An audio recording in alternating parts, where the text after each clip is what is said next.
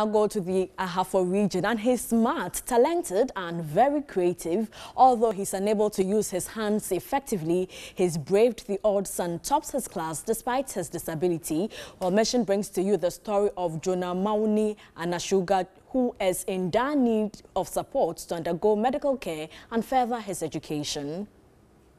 Today, Mission is at Suswanho RC Primary and Kindergarten School in the Duayaw Nkwanta municipality of the Ahafo region.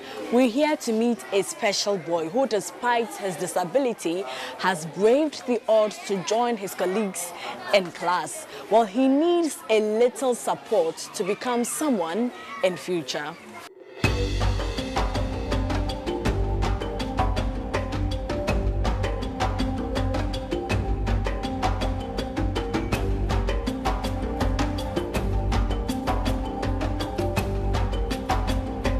Yes, I was born like this. Before um, I was sent to school, people, eh, eh, eh, everybody who will see me just look at me. That time, I don't come out to go with them or play with children, just like that. So I was at home every time doing artwork and modeling and many things.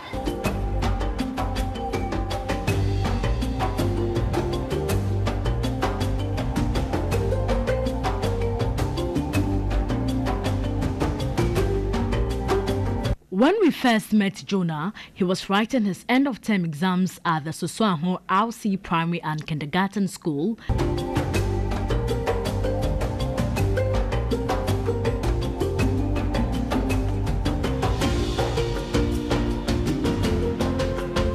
He's unable to use his hands effectively, but slowly he strived to support himself over the years by using both hands, though slowly, to write. But he was almost denied his right to education. I didn't start school early because my father knows, knows that I can't even go to school because of my conditions. People tell me if Jonah was their son, they wouldn't have been able to cater for him. When he was born, I felt ashamed to send him to school. A friend called me and encouraged me to give him education.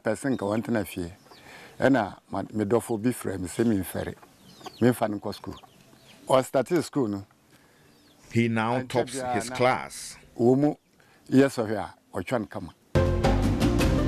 Thanks to inclusive education, Jonah has joined regular pupils in class who support him in everything he does.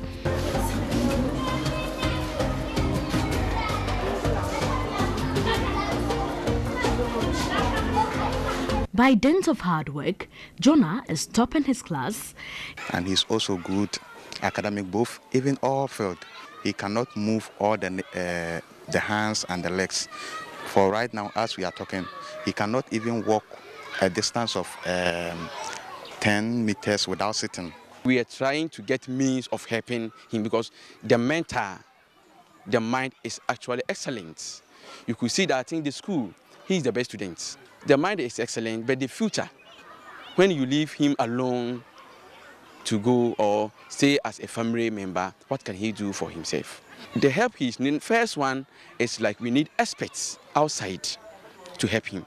Our environment that we are, we don't know what else to do. So we need experts to come to his aid. The assembly uh, has such a system in place. And uh, we do help the disabled people in the uh, municipality. Uh, not long ago, we, we, we distributed items to the disabled children. Especially Jonas is one of those that we distributed uh, the items to. Due to his disability, Jonas' family had to relocate from the north to Duayaw in the Ahafo region to seek medical care for him. Jonah's father is a farmer and not financially stable to support his son, but he's benefited from the 3% District Assembly Common Fund for persons with disability for his son. He got three sheep and hopes to sell them to support his son's education. Jonah is also very creative.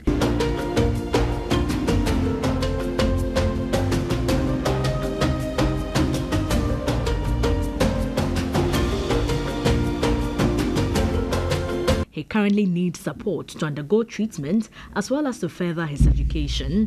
Someone could help me to undergo surgery.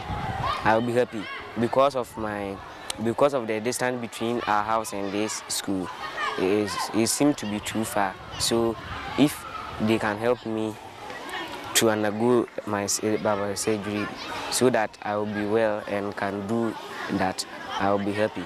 Akwaraa no sisi a wɔnante kɔ sukuu mu a wɔte hwɛ a wohu a wobɛsu He struggles to walk when going eh, to school. Even the clutches he uses were donated. crutches no ɛna ɛkɔɔyɛ ɛna ɔde crutches no yɛ den ama no sɛ wɔmfa kakrakra Jonah had a message for parents of children with disability. I want to tell them to never give up about this. They, they have to look after them uh, they have to look for, uh, take care of them and do what they like. One day I hope God will bless them and give them uh, something that they like or anything they are praying for. Portugal TV3 News, Suswahu, Ahafo Region. Jonah needs financial support to continue with his education. And as it for Mission. Mission is supported by the Star Ghana Foundation with thanks to Danida, UK Aid and the EU. Thanks so much for watching.